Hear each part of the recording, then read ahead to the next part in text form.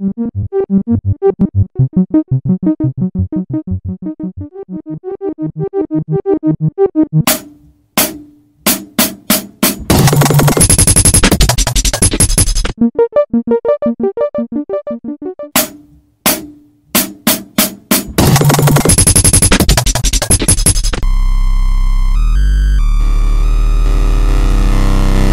Será que não teria um jeito da gente desenvolver tecnologias punks e libertárias?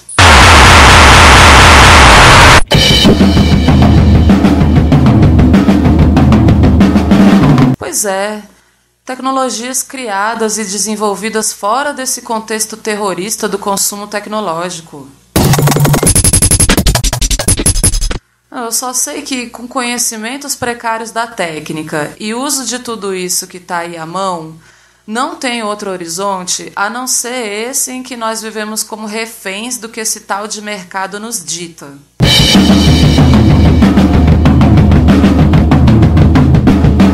Ou seja,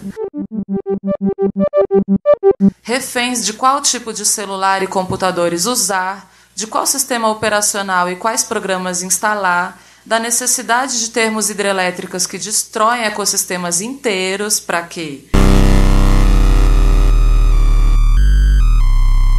Para recarregar e alimentar essas maravilhosas máquinas que tanto usamos. Mas e se a gente fizesse um experimento? Não qualquer um, mas um experimento punk mesmo por que a gente não toma de assalto toda essa tecnologia, técnica e conhecimento? Por que a gente não faz uma tecnologia reversa como um processo geracional de alcance de liberdades? Hum, por onde começar?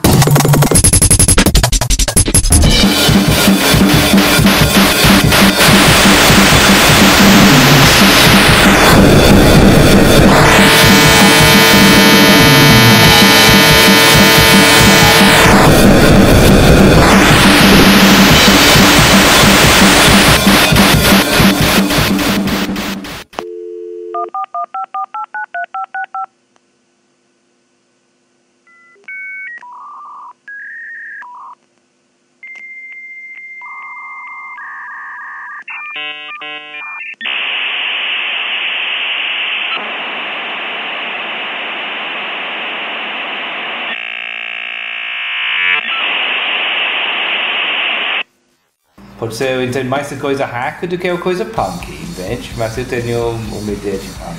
Se o punk traz uma coisa nova para esta história de, de contracultura, de juventude, eu acho que precisamos lembrar quando acontece, não? Acontece exatamente depois dos anos 60, quando a política, a cena política mundial muda muito, as pessoas se seja decepcionada com todas as estratégias radicais de esquerda, a, política vera de, de política mais tradicional de, de guerra de classes, marxista, organizada por essas ideias, é, as pessoas começam a fragmentar procurando um tipo de postmodernismo de política, em realidade. Em vez de uma grande teoria, em vez disso, começar vários pacotes, várias zonas diferentes de explorações é o punk chegou neste momento. Além disso, o punk é o primeiro destes movimentos cultural juventude que nega um tipo de hierarquia de classe é um jeito diferente do que é hoje. Os outros movimentos políticos, outros, ainda tem uma coisa de, de trabalhista. E também, se você pensa sobre os hippies, os hippies têm um jeito que é um pouco aristocrático mesmo. Não? Pode ver no, no, nos movimentos políticos da, da antes a continuação destas ideias de, de classe, da classe trabalhista organizada de um jeito, aristocracia, individualismo aristocrático. Aqui o punk faz um tipo de negação desta situação, criar uma ideia de uma força, energia, pode ser violenta, pode ser de raiva, que sugere é derrubar esta hierarquia de classes. É que é o punk, que é o punk? O punk é classe trabalhista, mais ou menos. Mas o punk é individualista, mais ou menos. O punk é este modelo que acha o mundo hippie, pode falar contínuo. O punk é uma energia que, que quase destrói isso. Mas claro, também faz parte desta outra fragmentação que foi acontecendo nos anos 70. Por que é importante para esta ideia de, de hacker de punk? Porque assim, até você pode falar no, nos anos 60, a tecnologia fica ligada muito com a organizações de sociedade que pensamos sobre pessoas de tecnologia, de engenheiro, faz parte de sistema industrial, faz parte de, de complexo militar industrial. Por quê? Porque afinal, tecnologia vem do sistema. Desde o, o início da época de, de industrialização, o capitalismo moderno surgiu como industrialização. Por quê? Porque uma fábrica, um, uma máquina de vapor é uma coisa cara. Você precisa, em realidade, o capitalismo surgiu como, como estas inovações financeiras, econômicas.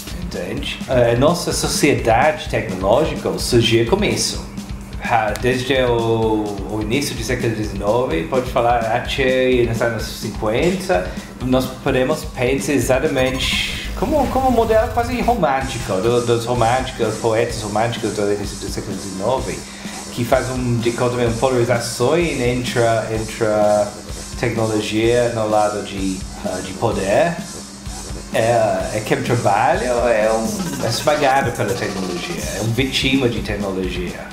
Esse é o modelo desde o, o século XIX. Em realidade, no final dos anos 60, você tem um movimento tecnológico quando algumas partes de, de, de, de hippies, as pessoas, começam a tentar negar isso, rejeitar isso.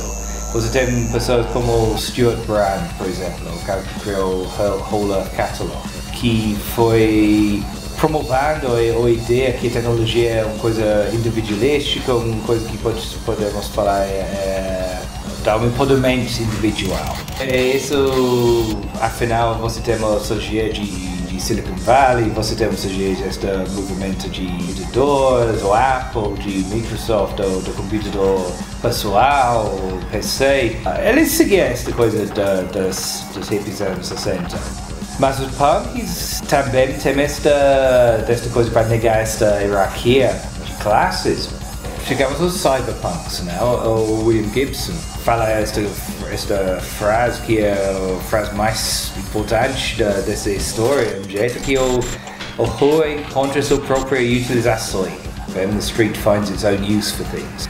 Mas que é isso? Isso é um manifesto quase, que é todo mundo não perceber. A tecnologia vira tal barato, tal integrado. A tecnologia começa uma nova vida. Vida que era não como foi projetada pelo sistema industrial, mas como as pessoas começam a utilizar. É o movimento punk dá muito enfatizar este ideal de DIY, né? do it yourself, que significa nós podemos fazer nossa própria mídia, nós podemos fazer nossa própria célula de música, nossa própria célula de. Podemos fazer nossas próprias zines, da, revista, nossa própria. Surgiu muito da época punk esta ideia que uma insurgência contra o sistema de mídia, uma insurgência como várias outras coisas. É claro, quando nós chegamos no cyberpunk, o que aconteceu foi exatamente uma síntese entre esta esta ideia de, de insurgência de povo, junto com a ideia que a tecnologia pode ser um ferramenta individual. Que o punk não é só uma insurgência de, de base tipo como era antigamente. Foi uma coisa que nega mesmo a, a ideia do Iraque. Não cabe dentro destes estereótipos de classe.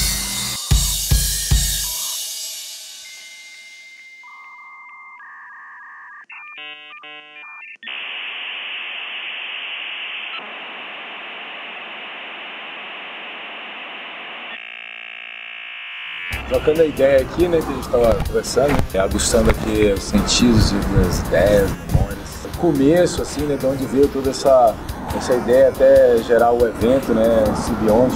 que a gente estava pensando mesmo, que é começou a partir de, de, de, a gente ter tido essa inicialização no, no esquema punk mesmo, né? Mas punk do sentido assim, da atitude, do, do, do onde que a gente, o meio que andava, é, das ideias que trocava. Aí daí montamos a banda, né? A Vaca Fogo Brejo. E a partir daí, de estar na banda e estar como a ideia de escrever as letras, é, a ideia de escrever letras protesto, né? Falando de uma maneira mais sarcástica, né? Usando uma parte mais cômica e tal, né? Com as histórias em quadrinhos. Né? Pegar essa ideia de linguagem de protesto e sempre estar tá pensando em criar novos mundos, novas histórias, né? Ligado com a literatura, filosofia. E no começo era descoberta da, de coisas tecnológicas, né? Eu entrando na área de desenvolvimento de software, né? programação, via mais ou menos o, o mundo que se cercava ao redor disso, eu falava, porra, nem é legal. a partir de outras literaturas, como lendo coisas de como William Gibson, né, Bruce Stern, filósofo Pierre Levy com o livro Cybercultura, inteligência coletiva, de conhecimento, foi dando uns cliques, falar, ah, existe uma, uma usabilidade para tecnologia muito mais interessante. do que essa que você está aqui na universidade, ciência da computação, e sendo que a infraestrutura estava ali, né, em das Descobertas, mas a usabilidade dessa, dessa infraestrutura era muito ligado ao mercadológico, muito corporativo tal. E aí com as ideias aí, com encontros com a galera da filosofia, né? a partir desse amadurecimento desse conhecimento, outras histórias, a gente começou a pensar de, de começar a é, fazer algumas coisas, mas não, não existia uma galera ou um movimento que representasse esse tipo de coisa. A gente encontrava uma galera que tinha a ver com literatura de ficção científica. É, do outro lado estava a galera narco, tinha uns encontros ligados a sci-fi, né, literatura, ficção científica, a gente tinha contato e a ideia de também ligado muito ao movimento anarco, né, com a galera de vários grupos das bandas mesmo, a, a comunicação entre redes era feita por cine, né? não existia redes sociais, né? não era. Aí já existia internet, mas era uma coisa mais restrita, né? E aí começou a descobrir a infraestrutura da internet, né? as possibilidades que rolavam então, e a literatura cyberpunk, e aí rolou uma, uns, uns cliques, uma explosão, e eu falar assim, puta, é, temos que criar outros universos aí, né? Com a ideia de um papel em branco na sua frente e você começar a pensar nas ideias, né? Aí a gente não conhecia galera que estavam ligados a esse mov movimento, ou se existia movimento, ou saber cultura, mas a partir daí ele falou assim, pô, vamos fazer um evento, quem sabe essa galera aparece aí, né? quem sabe essa galera aparece. E aí deu um toque, né? É, começamos a pensar na ideia assim, de ah, mais ou menos falar e, e trocar ideia com, sobre as coisas que a gente estava é, pesquisando, né? Que é, tinha já ligado a onda de hackerismo, né?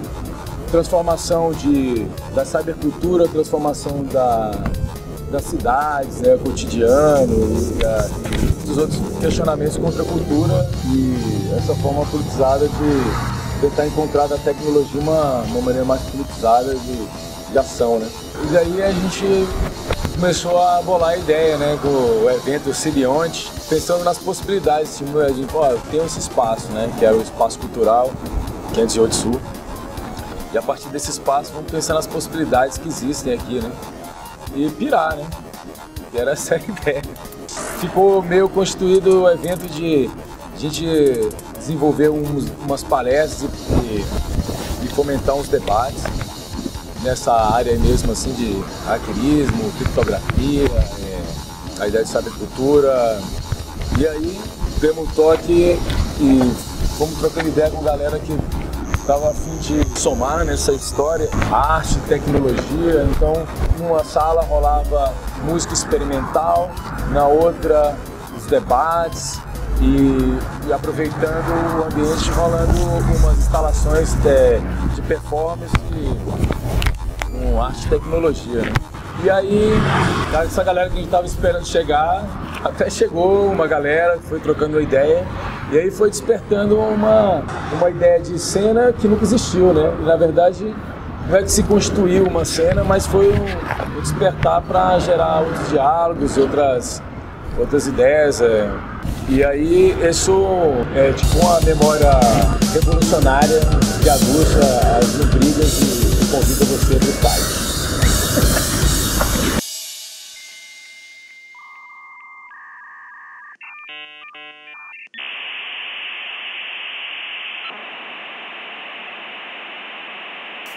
Se eu for falar dos meus primórdios, eu posso dizer o seguinte: quando eu era criança, passava as férias em São Paulo, eu, minha mãe, meu irmão, a galera toda, passava ali na Praça da República. Engraçado que a gente via os punks ali, tudo espalhado. E aí, na minha cabeça, eu achava que aqueles punks também tinham pais e mães punks eu imaginava como se fosse uma família mesmo e tal. E aí eu ficava pensando, como é que será que são os, os punks velhos, os punks velhos, a galera envelhecendo punk. E aquilo ficou na minha cabeça por anos, até minha adolescência, quando eu conheci os primeiros punks, aqui pertinho aqui no Guará. E aí aquele moleque, ele andava de skate, aí via aqueles punks, já começou a fazer amizade, aí tinha uma casa de um amigo nosso que rolava showzinho direto, todo final de semana, tinha os punks se reuniam lá. E aí eu fui entrando conheci algum, conheci um aqui, outro ali. A gente montou a primeira banda, inclusive eu toquei baixo e o baixo que eu tinha era um, uma guitarra. A gente meio que fez uma gambiarra e aí transformou ele num baixo, coisa horrível, mas muito legal o som assim para uma banda punk. Então nesse momento eu comecei a ter contato como um movimento punk. E aí os punks que estavam próximos de mim, eles tinham muitos zines bem legais, assim, um tema da anarquista. E aí foi quando eu comecei a ler esse material todo. Eu digo que foi uma leitura figura fundadora de todo o meu processo político, existencial, porque desde então, nada que eu fiz foi fora desse horizonte, com essa energia punk e com esse horizonte organizacional também, anarquista. Tanto que depois de tocar essa banda, eu também comecei a fazer zines, só que era um zine de humor que acabei abandonando, porque esse humor que tinha lá, ele era desses humor adolescente, altamente questionável. Essa coisa do, né, ser moleque, aquelas piadinhas homofóbicas, macho histórica, isso acaba influenciando. Ainda bem que eu tinha essa, essa literatura mais contestatória, serviu como base para eu repensar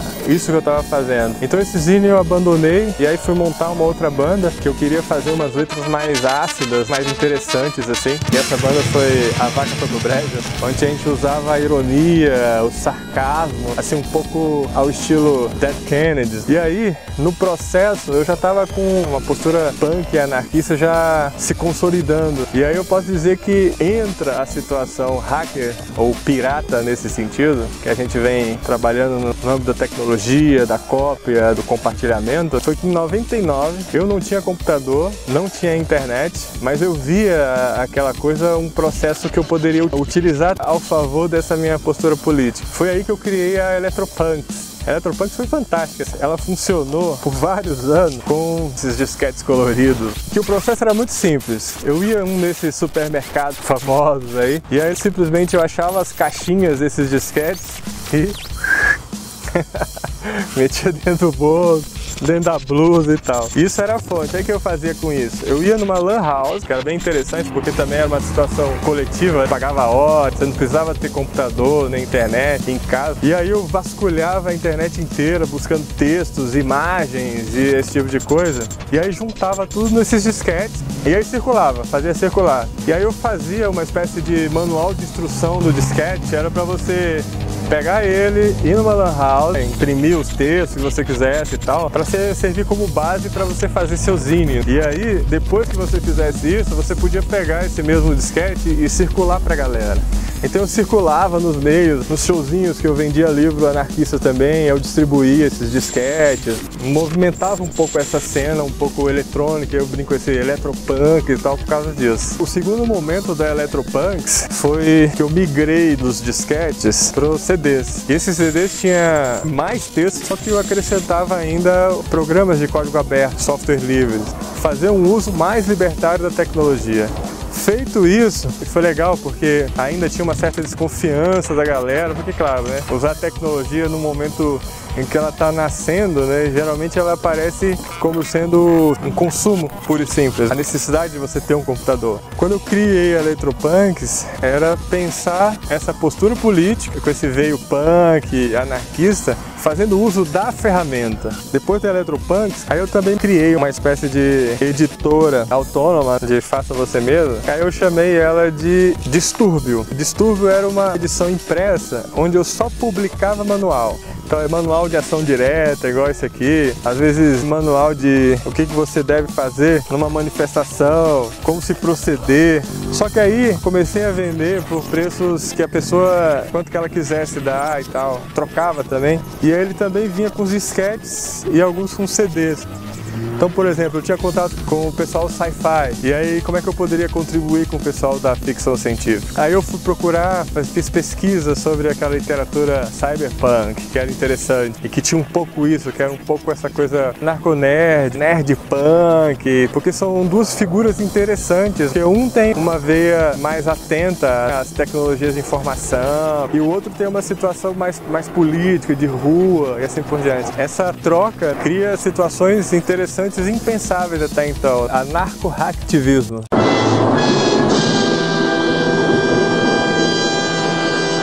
três figuras, a figura punk, a figura anarquista e a figura do hacker. E aí essa triangulação que é as coordenadas que eu agora estou mirando esse horizonte. Nesse sentido, eu não parei de fazer zine, o Ruídos em Ruína, que eu fazia uns pequenos manifestos você abrir o zine, você tem é uma brincadeira que é um pôster colecionável. Depois, o meu zine mais atual é o Hackstenzi. E ele também já tem uma coisa mais profunda, porque já tem uns textos mais punk, mais anarquistas, diretamente sobre o uso da tecnologia. E ele também funciona no meio como uma espécie de mapeamento de, de toda a ferramenta livre que você tem, disponível hoje, claro, né, 2016.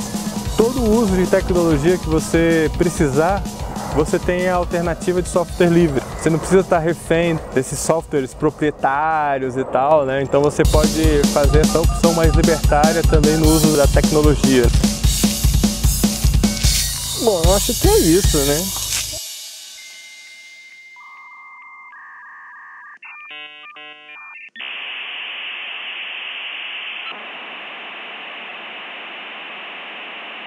Eu não lembro nem quando nem por que que eu comecei, mas eu lembro que tinha uma inquietação de aceitar essa pré-programação social que a gente vive. Apesar de a gente estar tá numa sociedade que é bastante fragmentada, que é tribalizada, né? Que é o que a gente vive hoje, tem vários segmentos, várias tribos, várias pessoas diferentes, mas ainda assim existia antes, talvez mais do que hoje, uma obrigação de você se enquadrar, né? Numa determinada situação. E nem o fato de ter que se enquadrar que me incomoda incomodava tanto, né?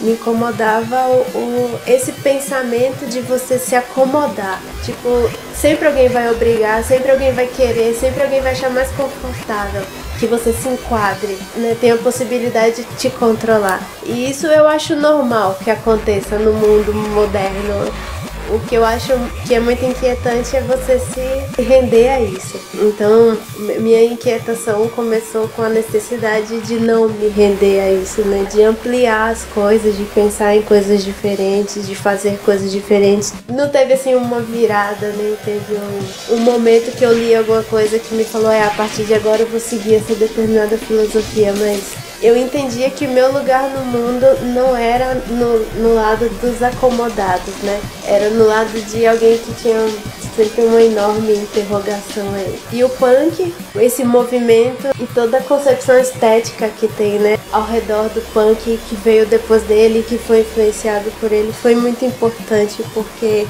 ajuda a você perceber que existe a possibilidade, existe brecha para você provocar uma ruptura em alguma convenção social, seja no processo educacional, seja no processo de trabalho, no seu cotidiano, nas suas relações sociais. E aí começa toda a história, né? É encontrar essas brechas aí de você conseguir promover essas anti-ações, né? anticoncepções. Isso é que eu acho mais bacana e que esse é o processo que eu acho que é natural. O software livre, o veganismo, todos aparecem exatamente na ruptura com essa prática tradicional, né? É um movimento que é uma estética mesmo contra esse, esse modo de produção que é exploratório e destruidor.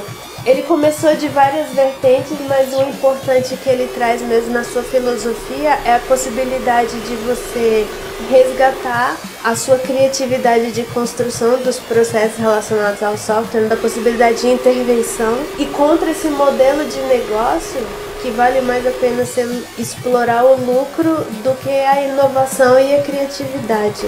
Que é a mesma questão das patentes, né? É muito mais fácil entender que você fechar um processo impede que outras pessoas possam explorar, então impede que aquela determinada situação seja melhorada. E a questão do software é a mesma coisa. A exploração da indústria em criar dificuldades e criar soluções. E, e, esse é o processo ali de exploração de inovação que, que o mercado coloca né? No software livre tem uma outra pegada que é o fato das pessoas conseguirem contribuir de uma maneira que o processo fica muito mais acelerado e que você tem intervenções diversificadas que têm olhares que não são só o lucro, que são melhoria da qualidade de vida, da justiça social, da, da própria tecnologia mesmo. Então isso é uma coisa legal. Essa, esse movimento de ficção científica, né? Muitos filmes, quadrinhos, super-heróis, nave espacial. As pessoas tinham uma, um, um desejo de desenvolver coisas para o futuro, né?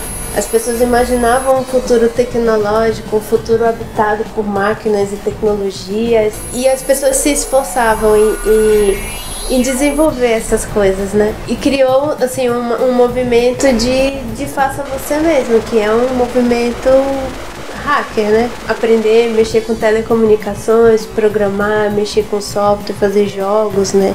Então teve um, um movimento da robótica ou do que viria a ser, né, a robótica mas aí no, no mesmo caminho que as pessoas estavam seguindo para fazer, né, para ter essa criatividade, as empresas também estavam, porque aquilo ali era um mercado a ser explorado. Então, as empresas meio que captaram qual que eram esses desejos futuristas, né?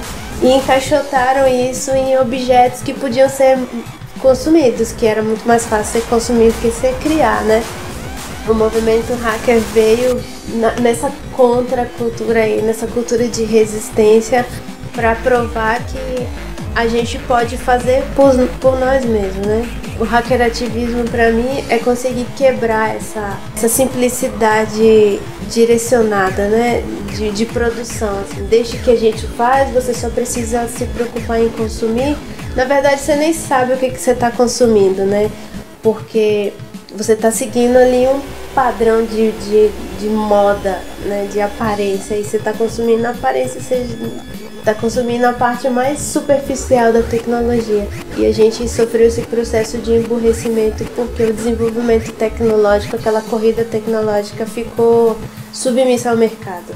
Isso foi um prejuízo enorme, né? De um hacker space, ela vem de uma necessidade de você ter uma brecha ali, né? Na convenção social. É um lugar apartidário, um lugar que tem um, um desenvolvimento meio que próprio ali, né? Então é, é meio difícil porque não é só um espaço para fazer experimentações. É um espaço para colocar em prática uma coisa que muito provavelmente no futuro vai ser ilegal, porque tá ali estudando meios e formas e, e com a, a plena convicção de que aquela filosofia do fazer ela é muito mais benéfica para a sociedade do que a filosofia que a gente encontra do lado de fora ali. Que é, a forma como se enxerga as coisas ali dentro ela é muito muito mais benéfica, né, para todo o processo de desenvolvimento da sociedade, do indivíduo, da formação, da educação. É emancipadora e soberana, é autônomo. E isso, isso mais tarde vai ser uma grande ameaça, né? Hoje ninguém está dando muita importância à questão do hackerspace. As pessoas estão em outros movimentos que estão acontecendo agora pelo mundo, né? E o potencial do hackerspace eu acho que é realmente aplicar essa soberania, essa autonomia, essa contra-hegemonia ali na prática. As normas que regem, que estão ali dentro do, do hackerspace, não são as normas do mercado, são uma ética de solidariedade, de generosidade intelectual. É um espaço que você não vai consumir, você vai criar. Né? Então isso aqui é um hackerspace.